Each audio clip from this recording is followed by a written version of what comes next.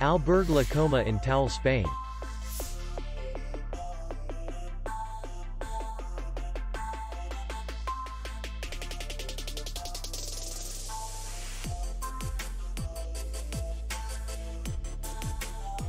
The hotel is in the city center. And distance to the airport is 79 kilometers.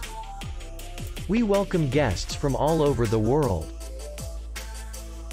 The hotel has comfortable rooms, free Wi-Fi, restaurant, and bar.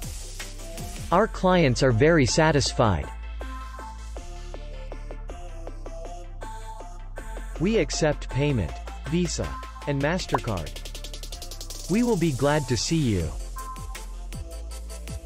For more information, click on the link below the video.